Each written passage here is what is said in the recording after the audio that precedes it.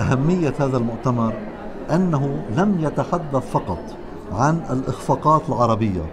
استطعنا خلال عشر سنوات من عمل المنتدى العربي للبيئة والتنمية أن نقدم أيضا جردة بإنجازات إيجابية استطعنا تحقيقها في العالم العربي وهي تتلخص في السياسات والاستراتيجيات البيئية والخطط التي تم اعتمادها في كثير من الدول العربية وهي تقوم أساسا على توصيات تقاريرنا السابقة. ولكن حذرنا من أنه إذا استمرت الحروب والنزاعات في المنطقة العربية فنحن مهددون بأن نخسر كل هذه الإنجازات وأن نخسر التقدم في أي مجال.